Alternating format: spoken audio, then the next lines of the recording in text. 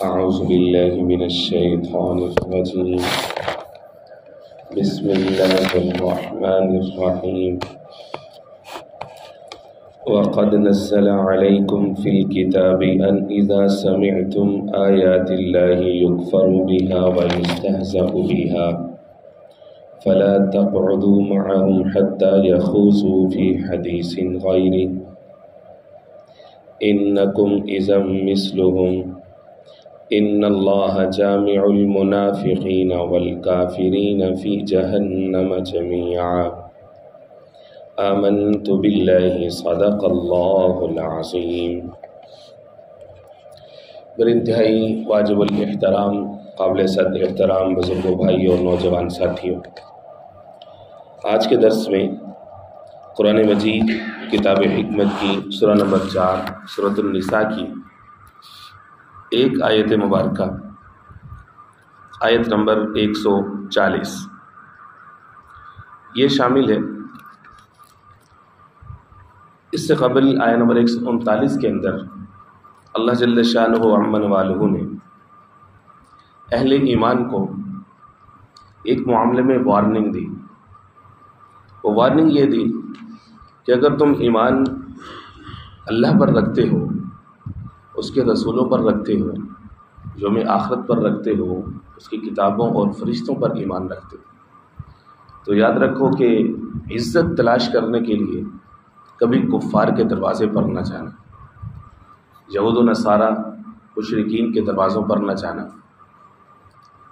कभी भी उनकी सोहबत, उनकी बुदोबाश, उनका कल्चर, उनका रहन सहन उनकी उठक बैठक रहत सहत इख्तियार न करना कि इसमें हमारे लिए इज़्ज़त होगी। ये गलती ना कर बैठना।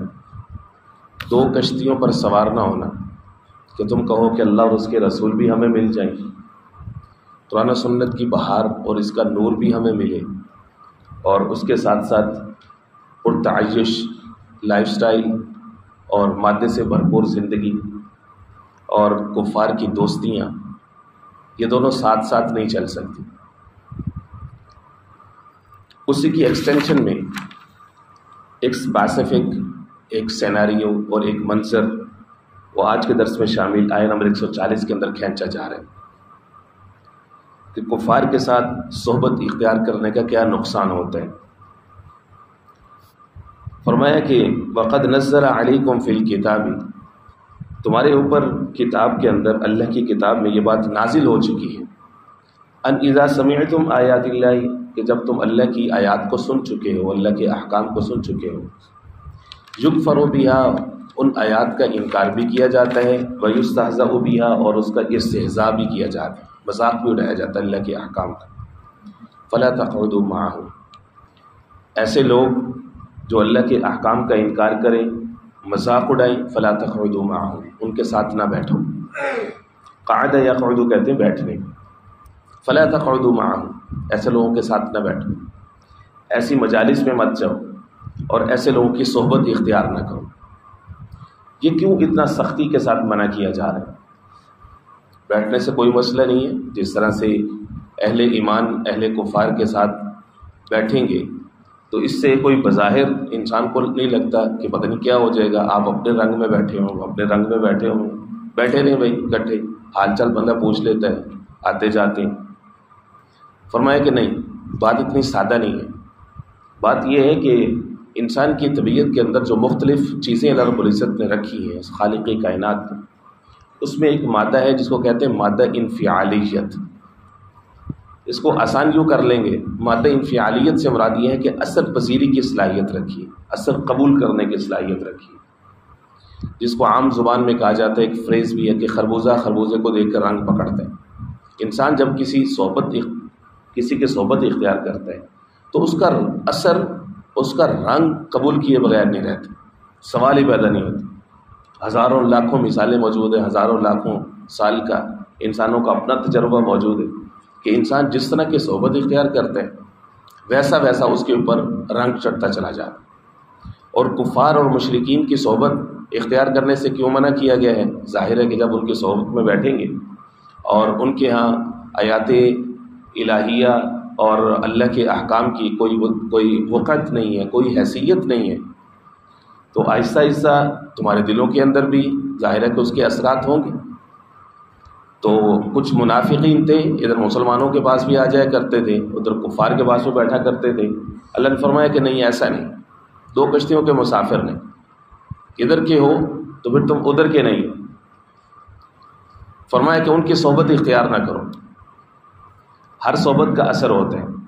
आप अंदाज़ा कीजिए कि कुरान मजीद किताब हमत में सूरतुल्कहफ़ के अंदर अल्लाह जल्ल शान वालों ने अपने लाडले हबीब सैदुलमरसली हजूर पाक सलाम को यह हुक्म इरशाद फरमाया सूरतुल्कहफ़ महबूब, वसबिर नफ्स का मालजीन यदून रबहम बिलगदाती वलाशीशी सुरीदून वजह। फरमाया कि महबूब, आप इन लोगों के साथ बैठिए। कि जो अल्लाह पर ईमान रखते हैं नफ्स का मालजीन यदून रबहम अल्लाह को पुकारते हैं और अपने चेहरे को आपके लिए खालिश करके बैठे हैं, अल्लाह के लिए खालिश करके बैठे हैं, आप ऐसे लोगों की सोहबत इख्तियार कीजिए, ऐसे लोगों के पास बैठिए कि ये आपके जो साहब कराम हैं, इनको आपकी सोहबत की ज़रूरत है, आपकी मैत के खां हैं ये। ये चाहते हैं कि आप उनके साथ वक्त बिताएँ, ये आपके मैत का शर्फ हासिल करना चाहते हैं। वसबिर नफ्स आप अपने आप को रोक के रखें, इन्हीं लोगों तक वसबिर नफ्स का मालजीन बिलगदाती वल आशीजी सुबह भी शाम भी अपनों की सोहबत इख्तियार कीजिए बिलगदाती वल आशीजी रीद वजह और ऐसा खूबसूरत अंदाज इख्तियार किया जहाँ से सोहबत की अहमियत महसूस होती है वहाँ से ये भी महसूस होता है कि अल्लाह जल्ला शान हो के यहाँ अल्लाह के महबूब के सहाबा की कदर कीमत क्या है किस अंदाज में अल्लाह कह रहे बात पूरी थी बस फिर नफ सक अपने आप को रोक के रखे अल्लाह अपने महबूब से जब ये फरमा दें तो वही होगा जो अल्लाह ने फरमाया बस फिर नफ सक अपने आप को रोक के रखें लोगों के साथ। अल्लाह ने साथ फरमाया, वला तादुआई ना का महबूब, अपनी नज़र शफकत भी इनसे हटानी नहीं है आपने। ये आपकी नज़र रहमत के मुश्ताक हैं कि आप इनको देखते रहें। ये आपके चेहरे को देख करके अपनी आँखों को ठंडा करेंगे। आप भी इनकी मैत इख्तियार कीजिए। भला तादोइन आकान सोहबत की इतनी अहमियत। दर्द मंदादी सोहबत एवें जिमें दुकान अतारा। सौदा पावें लइए ना लइए हुल्ले मिलन हज़ारा बेदर्दा दी सोहबत एवें जिमें दुकान लोहारा कपड़े पावें कुंज कुंज बइए छिड़का पड़ पहन हज़ारा बच नहीं सकता इंसान सोहबत के असरात से हर किस नहीं बच सकता फरमाया कि महबूब आप ऐसे लोगों की सोहबत इख्तियार न कीजिए सूरतनाम के अंदर भी अल्लाह रब्ज़त ने यह फरमाया है कि ये जो लोग हैं, जो गैरुल्ला को पुकारते हैं तो आप इनके साथ ना बैठें। पैसा रईतल्लजीन यखूज़ून फ़ी आयातिना, जब आप देखें इन लोगों को कि जो हमारी आयात का इस्तेजा करते हैं, हमारी आयात की गलत ताबीर व तशरी करते हैं, और हमारे अहकाम का मज़ाक उड़ाते हैं, लोगों का जहन ख़राब करते हैं, फरमाए यखूसन फ़ी आयातिन फ़ारिज़ान हूँ तो आप इनसे एराज़ करें। इससे मालूम होता है कि ऐसी तमाम सोहबतें, ऐसा तमाम तरह का निज़ाम, ऐसे तमाम तरह का सोशल एजेंडा कि जो इंसान को अल्लाह और उसके रसूल से गाफिल करे, उसके ईमान के ऊपर किसी ज़ौफ़ का, किसी हमले का ख़तरा हो तो ऐसी जगह से, ऐसी सोहबत से, ऐसी चीज़ों से बचना चाहिए। बड़ा शौक़ होता है लोगों को। हमारा बच्चा, बच्ची डिग्री लेने के लिए बाहर चला जाए। बाहर कोई पाँच दस साल रहे इसकी ज़िंदगी, इसकी लाइफ बन जाएगी। अरे भाई, जब वहाँ से डिग्री लेकर के आएगा तो वो सिर्फ़ डिग्री नहीं लेकर के आएगी तुम्हें नज़र आता है कि यहाँ की ऑर्गेनाइजेशन में जब आएगा तो उसके साथ फ़ॉरन क्वालिफाइड लिखा होगा। तो जनाब, क्या बात है, सबसे ऊपर होगा। ये उनकी एक जहनी ग़ुलामी की अलामत है बहुत बड़ी। वो बाहर से डिग्री नहीं लेकर के आएगा, वो वहाँ का कल्चर साथ लेकर के आएगा, वहाँ का रंग साथ लेकर के आएगा। वहाँ की रक्स गाहें वहाँ के शराब खाने और वहाँ के रहन सहन, वो सारा एक जहन लेकर के आएगा। ये तुम्हें लगता है कि डिग्री लेकर के आए। वहाँ की डिग्री तो इन चीज़ों के बगैर मुकम्मल ही नहीं होती। एथीज़म के बगैर तहरीत के बगैर। मज़हब का जो गैर अहम होना है, उनके नज़दीक तो इसके बगैर डिग्री मुकम्मल नहीं होती। फरमाया कि सूरतुलमतहिना के आगाज़ में रब इज़्ज़त क्या फरमाते या जो जोल्लिन आमन अदुबी व अदुबकुम अलिया अहल ईमान मेरे दुश्मनों को और अपने दुश्मनों को दोस्त मत बनाओ।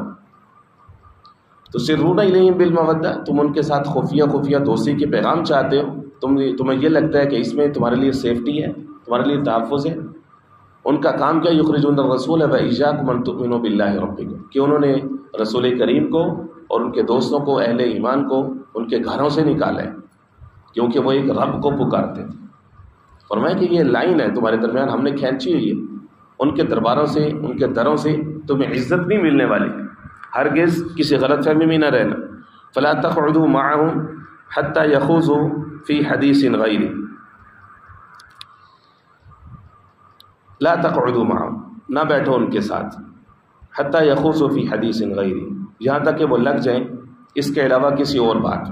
मौजू तब्दील तुम कर सकते हो, तुम कर दो। ज़ाहिर है कि एक ही जगह पे रहा करते थे, लोगों का आपस में मिलना जुलना भी होता था, ज़ात बरदरियों की बुनियाद पर लोगों के पास आना जाना भी पड़ता था। अब ज़ाहिर है कि मुतलकन उनके साथ क़त ताल्लुकी करेंगे तो आपने उन तक दावत भी पहुंचानी है, अल्लाह का पैगाम भी पहुंचाना है। तो इसलिए फरमाया कि जाना मजबूरी है, लेकिन उस पर देखो कि मौजू क्या डिस्कस हो रहे अगर उसके अंदर कोई ऐसा मौजू है जिसमें अल्लाह और उसके रसूल का मज़ाक उड़ाया जा रहा है अहकाम इलाहिया का आयात क़ुरानिया का मज़ाक उड़ाया जा रहा है। तो फरमाया कि उस वक्त तुम उनके साथ ना बैठो। हाँ मौजू चेंज हो जाए, तुम कर दो या वो उनकी तरफ़ से हो। फिर तुम्हें बैठने की इजाज़त है।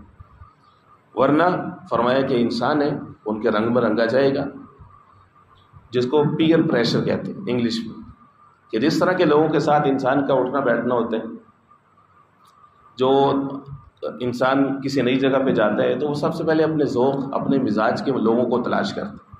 अगर उसका दीनी जहन है तो जब वो एक शहर से दूसरे शहर जाएगा किसी काम में तो सबसे पहले वो मस्जिद को तलाश करेगा, किसी अल्लाह वाले को तलाश करेगा। ऐसे लोगों की सोबत इख्तियार करना चाहेगा कि मैं अपना काम तो आया हूँ, लेकिन चलें, मैं अपना वक्त जो है वो इधर बिता लेता हूँ। तो शराबी शराबियों वालों को, सिगरेट सिगरेट पीने वाले, सिगरेट पीने वालों को तलाश कर लेते हैं। हर बंदा अपने मिजाज के लोगों को तलाश कर लेते हैं।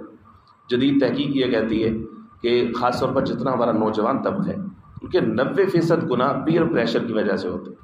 एक साफ़ सुथरा बच्चा है, उसको घर से अच्छी तरबियत मिली है वालदेन की तरफ़ से।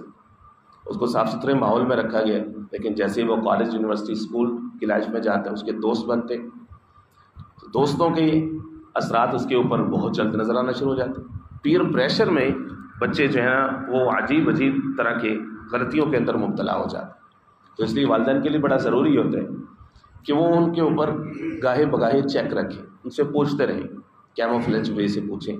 असल में जवाब कुछ और मतलब हो, सवाल आप किसी और अंदाज में करते हैं, पूछना ये मकसूद हो आपका कि बच्चा किन ख्याल का हामिल है, कैसे लोगों के साथ बैठते हैं। तो ये वालदेन की बड़ी ज़िम्मेदारी है।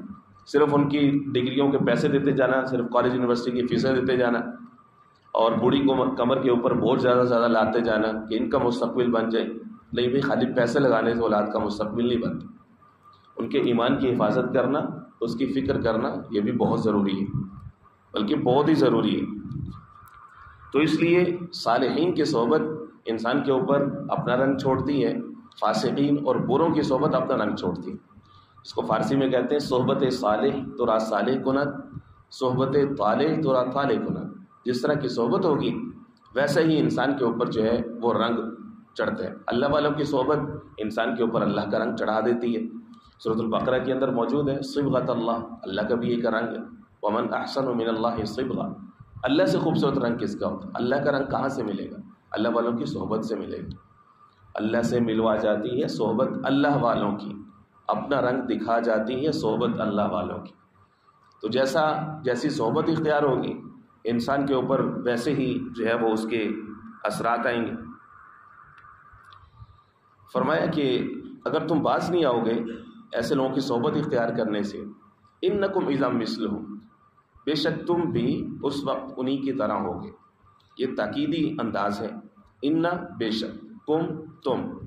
इज़न उस वक्त मिसल हो उन्हीं के जैसे हो हो जाओगे, यानी उनका रंग तुम्हारे ऊपर चढ़ जाएगा। या फिर इसका मतलब ये है कि हम तुम्हें उन्हीं में से जो है वो गिनेंगे, उन्हीं में से ही तुम्हारा शुमार होगा, उन्हीं में से तुम्हें उठाया जाएगा फिर, अगर ये हाल होगा तो। फरमाया इन अल्लाह जाम जामिनफ़िन वलकाफ़िन फ़ी जहन्नम जमिया चूँकि माकबल के अंदर कभी मुनाफिकों का तस्करा होता है, कभी कुफ़ार का तस्करा होता था, दोनों के दरमियान बारीक सी सरहद है। मुनाफिक की जिस तरह दो बड़ी बड़ी किस्में हैं, एक यह है कि शौरी तौर पर वो मुनाफिक है। शौरी तौर पर मुनाफिक होने का क्या मतलब है कि असल में वो काफिर है? लेकिन मुसलमानों के साथ आकर के मिला हो। एक होता है गैर शौरी मुनाफिक। गैर शौरी मुनाफिक क्या है कि इस्लाम की उसको अहमियत पता चली। वो आया, लेकिन उसके अंदर कोई ना कोई मफाद मौजूद। करीब आया, उसको पता चला कि इसके अंदर तो मुजाहिदा ही है। अब वो निकल गया इस तरह से मुनाफिक की ये दो किस्में हैं, और फिर इस तरह से कुफार की भी दो किस्में और कुफार भी एक तो वो है जो पक्के पूरे शौरी तौर पर दीन इस्लाम के शदीद मुखालिफ इसी तरह कुफार की, वो दूसरी किस्म वही है जिस तरह से मुनाफिकीन की जो है वो एक दूसरी किस्म। के बज़ाहिर हैं मुसलमान, लेकिन मानवी एतबार से, अमली एतबार से उनमें और कुफार में कोई फ़र्क ही नज़र नहीं आता। अब मुनाफिकिन और कुफार को आय नंबर एक सौ चालीस में एक ही हुक्म में इकट्ठा किया जा रहा है। फरमाया इन अल्लाह जामिलमुनाफ़िन अवल बेशक अल्लाह जमा करने वाला है मुनाफिकों को भी और कुफ़ार को भी।